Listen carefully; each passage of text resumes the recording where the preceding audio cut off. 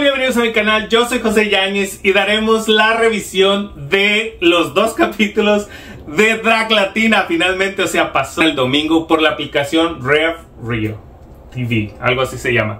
Búsquenla ahí, es totalmente gratis, lo pueden ver en su teléfono, en la computadora. Bueno, no sé si en la computadora, pero lo pueden ver en su teléfono, es totalmente gratis y me encanta porque es una aplicación de las que eh, pues da mucho contenido LGBT, entonces eso me gustó, hasta los comerciales están LGBT, entonces digo yo, está bien, nada más no me gusta porque hay muchos comerciales y son tres, entonces, entonces sí es como algo cansado, pero pues obviamente son patrocinadores que necesitan para pues sacar el billullo, ¿verdad? Y poder hacer más contenido LGBT en esta aplicación, solamente eso tengo que decir, pero en realidad está bien, o sea, valió creo... Eh, valió la pena la espera, en mi punto de vista.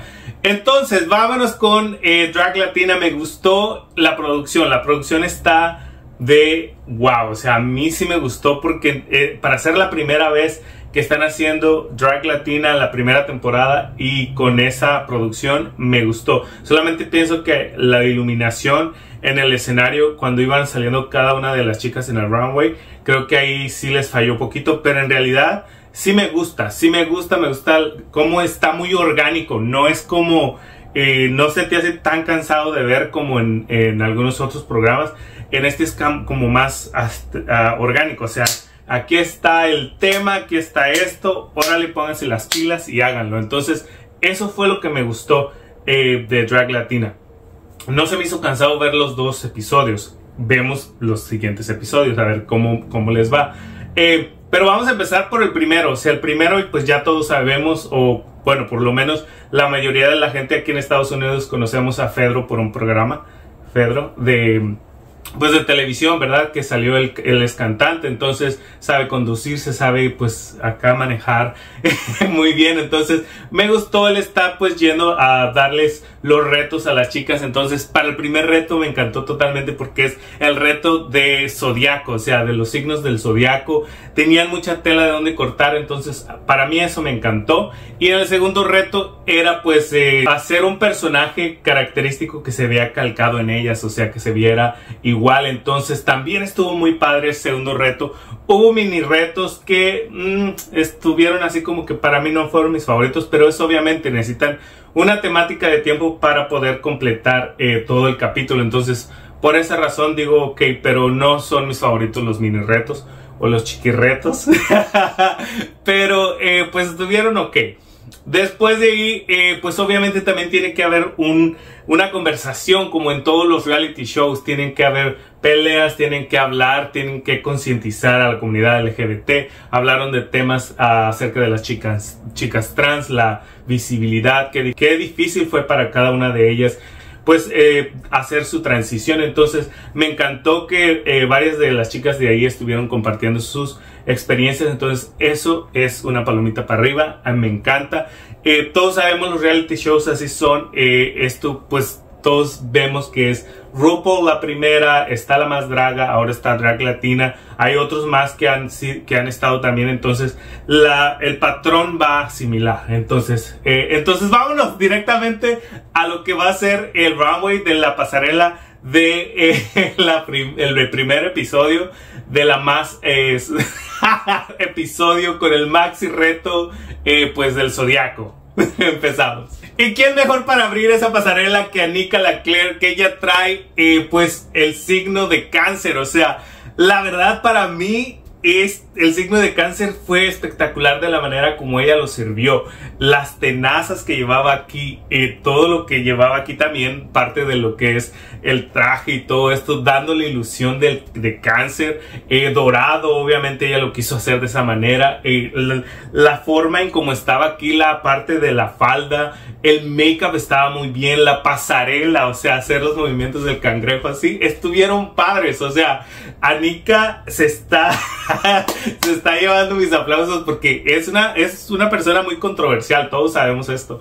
Pero está demostrando en la pasarela de que sí sabe hacer las cosas y sí sabe pues eh, poner todo ahí para poder eh, pues hacer esa pasarela, ese reto eh, de ella. Entonces, a mí sí me gustó y yo pienso que fue injusto que la hayan puesto en el bottom porque no se lo merecía. Seguimos. La siguiente la pasarela es Venus, que ella trae pues su look de un escorpión. Trae escorpioncitos ahí en su look. Eh, la tenaza estaba padre la idea. Solamente los detalles se le veía aquí como el forro, no sé qué le metió ahí para que se pudiera ver eh, pues bien. Eh, pero no se vio tan bien desafortunadamente. Su make-up está padre, su pasarela es segura, pero siento yo que no es un look así como que digas tú, wow, o sea, luego, luego sabes que es un escorpión. Creo yo que sí le faltaron un poquito más de texturas o algo más que lo hiciera más visual para que nosotros como espectadores dijéramos, oh, sí es un escorpión, pero pues estuvo más o menos. La siguiente la pasarela fue Chichi Fuera, que ella vino en Aries. Eh, me gustó el maquillaje que le puso aquí como los cuernitos aquí en el maquillaje. Estaba padre, también la peluca y se le veían como unos cuernitos. Eh, era un vestido rojo, eh, como, como un corsé rojo con mucha piedra.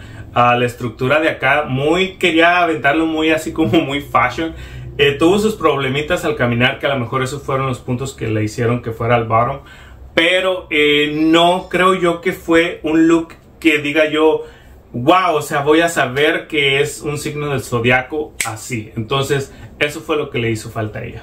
La siguiente en la pasarela es Vicky Echeverría, que, que es uno de mis sesgos, tengo que decirlo, pero tengo que ser neutral. Entonces, a ella nos está sirviendo un caballero del zodiaco, o sea, Species. Realmente se ve que se inspiró en el anime de, eh, de Masami Kuramada, porque yo sí sé, de, de, Japón, o sea, de, de Saint Seiya o los Caballeros del Zodiaco. Llevaba la flor representativa de Pisces, llevaba la armadura, eh, ese pelo que se puso, pero haz de cuenta que el manejo del escenario eh, me encanta porque esa capa la lucía como si de verdad fuera dueña de, no sé, de las 12 casas del zodiaco. A mí me encantó Vicky Echeverría. Eh, todos, yo espero mucho de ella porque pues yo la conozco, ya la he visto aquí en muchos shows. Entonces, y llega Afriquina, o sea, la reina de la noche. Eh, África Mendiola a mí me encanta. ¿Por qué? Porque me sirvió realmente un signo del zodiaco, o sea, Leo. Leo realmente se miró ahí con ese penacho enorme, todas esas plumas. No sé si es un Lupita Amparo, yo no sé, pero se veía muy bien. La manera en como eh, la parte de atrás cuando se da la vuelta se le ve muy bien la figura, o sea, ella hace cuerpos y se vea muy bien. O sea, para mi gusto sí me dio un signo del zodiaco y lo sirvió muy bien. Supo qué hacer, se veía elegante, se veía segura y pues felicidades África a la final. Seguimos. La siguiente la pasarela es Sunel que llega con un vestido negro. Se veía muy bien porque brillaba muy padre. A mí me encanta mucho la piedra. Solamente creo que si alguien que le dicen qué ves ahí, no va a saber qué es. O sea, se ve bonito, se ve elegante. Eh, la peluca era la única que aludía a lo que era la cola del alacrán, pero en realidad eh, se perdía. O sea, no tenía realmente eh, Escorpión. En mi punto de vista yo no lo vi tanto. Eh, tal vez en, pues en su forma de pensar pues lo quiso traer algo elegante, algo sofisticado, pero para mi gusto sí creo que le faltó. Eh, aparte, yo siento que pues a lo mejor fue un vestido como ya pues hecho, tal vez, no sé, digan ustedes en los comentarios, pero no me encantó tanto. Seguimos. La siguiente la pasarela es Leila Edwards, que nos sirve obviamente, también se ve ahí que es Pisces. Ese look es uno de los looks de mis favoritos, la verdad. ¿Por qué? Porque ella supo cómo implementar Pisces en, en su drag en la manera en cómo es ella. Me encantó la peluca, me encantó su makeup, me encantó las colas que salían de aquí, eh, las escamas, la manera de atrás, cómo le, le adhirió la tela y el manejo, cómo se movía. O sea, para mi gusto, yo podía ver como una sirena en drag. Entonces, muchas felicidades, a mí me encantó. La siguiente es Valeria, que ella nos trae a Capricornio. Ella fue la ganadora. Eh, para mi gusto creo que fue una buena idea, pero no estuvo bien ejecutada. O sea, esa cola de sirena se veía padre, pero la manera en cómo estaba eh, de la cintura para arriba, o sea, los cuernos aquí como cortados y luego los cuernos para atrás. Eh, creo el make-up sí estaba, sí estaba muy bien, pero no sé, o sea, se veía como que no había un control de, de, los colores, yo no sé, para mi gusto a lo mejor se veía muchísimo más bien en, en, vivo que en persona, pero para mi gusto no debió ser la ganadora, en mi punto de vista. Eh, no, no, para mí no me gustó tanto, entonces, pues ni modo, pero pues ganó. Seguimos. La siguiente es Mariah Hispanic. Ella llega en escorpión, se ve totalmente en la referencia también a los caballeros del zodiaco, que ella utilizó la, lo que fueron las, la capa, pero de una forma diferente, o sea, en las mangas. Y para mi gusto está muy bien hecho, me encantó de que no fue una copia total de el signo de los caballeros del zodiaco de escorpión, pero sí llevaba, o sea, llevaba los elementos de, del escorpión. Eh, me encantó la parte de la cola, la parte de la cola fue espectacular. Eh, yo viví mi fantasía igual que ella, a mí me encantó y la verdad, felicidades. La siguiente es Amalara Sofía. Ella llega también eh, en Pisces, o sea, muchos Pisces.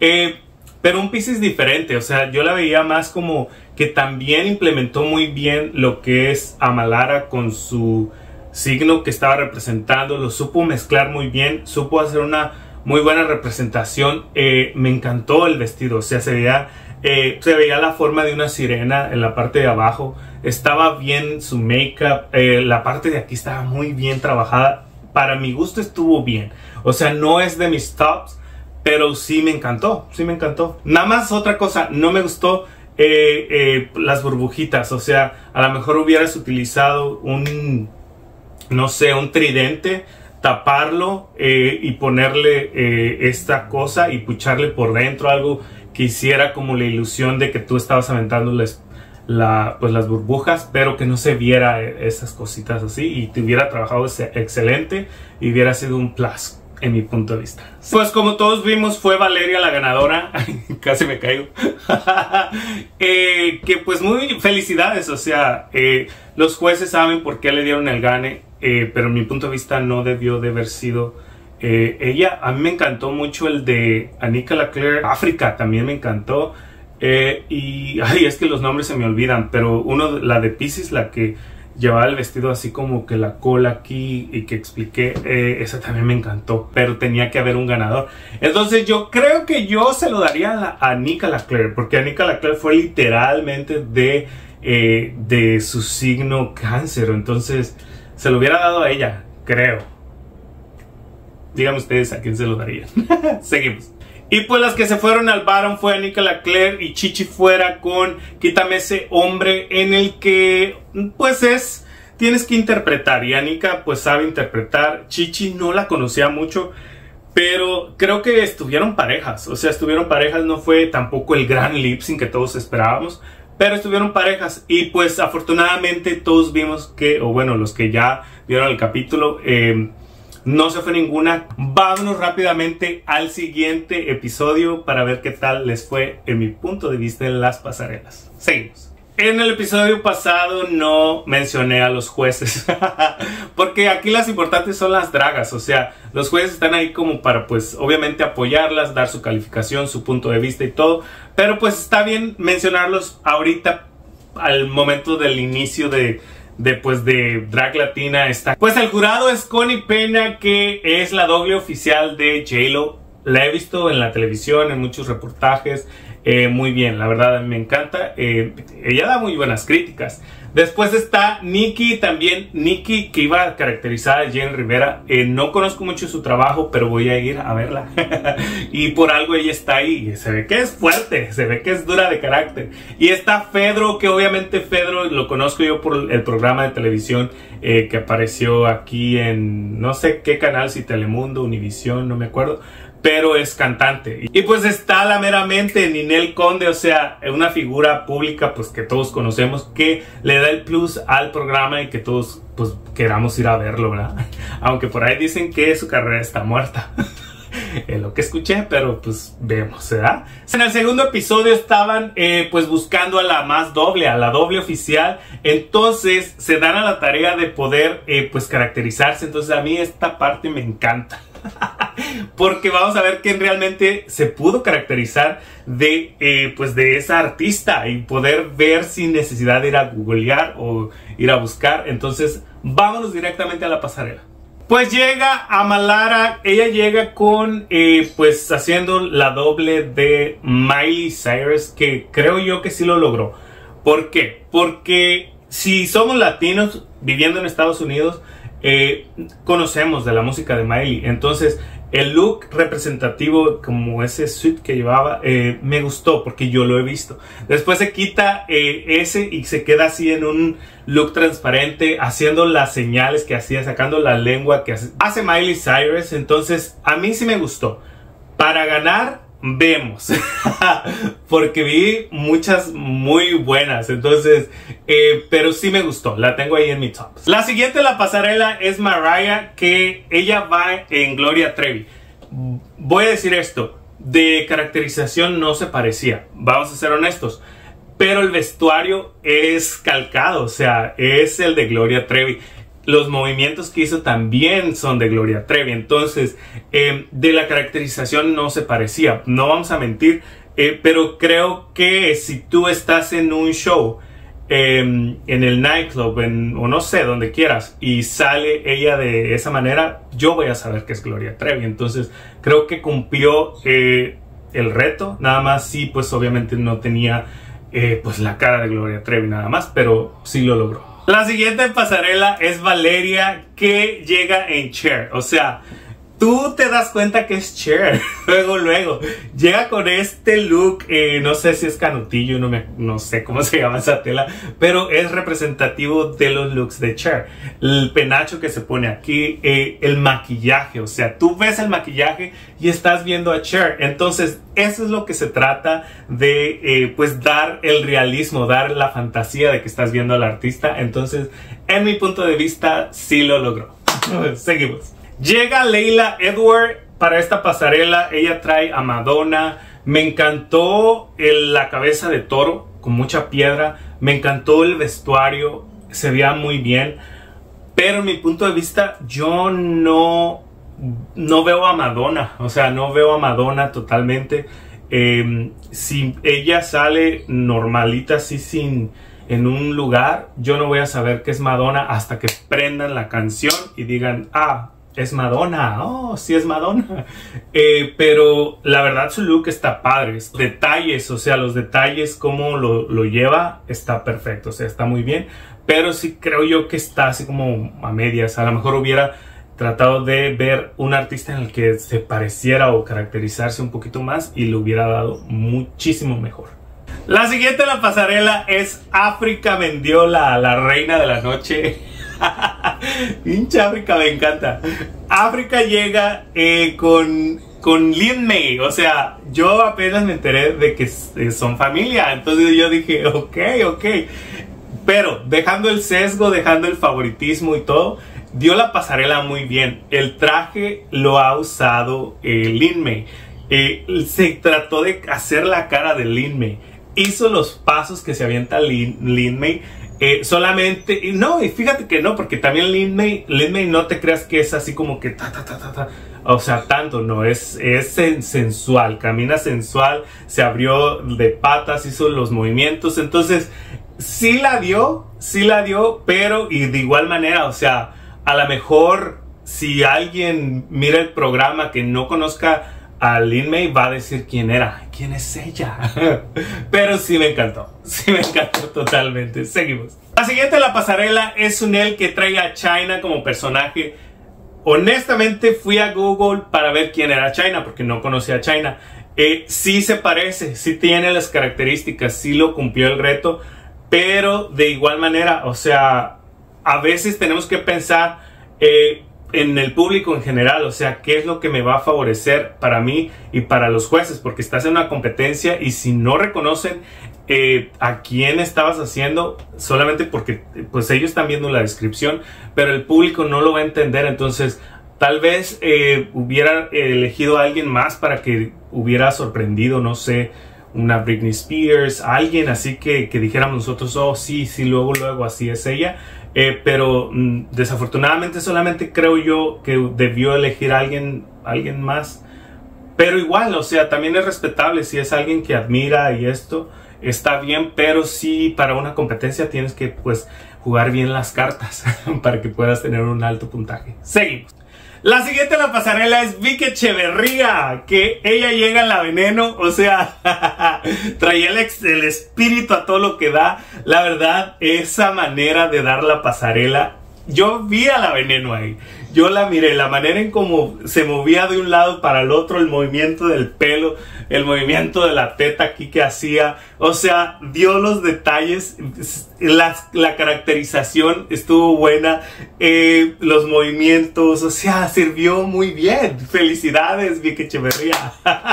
y seguimos. Siguiente la pasarela es Chichi Fuera, que ella trae a Jenny Rivera. Eh, también, en mi punto de vista, como los jueces, creo que sí le faltó un poquito, o sea, llevaba la figura, pero a lo mejor si hubiera traído un traje de esos grandotes de los de eh, mariachi que usaba con ese rebozo, no sé, darle un, matiz diferente, eh, a lo mejor le hubiera dado un poquito más de puntos, porque pues el, el vestido sencillo de Jenny Rivera de negro, pues también era así como que, sí era muy, muy representativo de Jenny, pero debió de haberlo llevado a un nivel más alto para que no hubiera quedado en los bottoms, creo yo y se hubiera ido. Seguimos. Llega Venus con Amy Winehouse, que la verdad, para mi punto de vista, fue una de las mejores que hicieron la caracterización de, la, de toda la pasarela. No sé por qué estaba en el bottom, no sé qué pasó allí, los jueces, qué onda. Estábamos viendo programas diferentes o qué onda. La verdad sí la regaron, sí la regaron porque fue muy buena, o sea, desde el maquillaje, desde la actitud, las rosas que siempre eran representativas de ella, el peinado, o sea, llevaba, llevaba todo lo que, lo que usaba la artista. Entonces, ¿qué onda? ¿Qué está pasando? Seguimos. Pero a mí sí me gustó. La siguiente pasarela es a Nicola Claire que ella llega en Cristina Aguilera.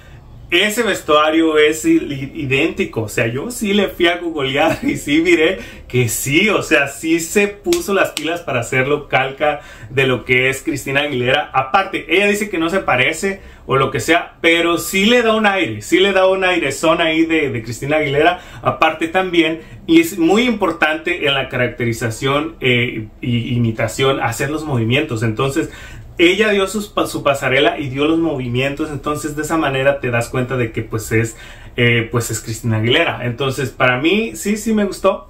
No fue el mejor, pero sí me gustó. Seguimos. Las que se van a pues a las menos o al bottom es eh, Chichi fuera y Venus.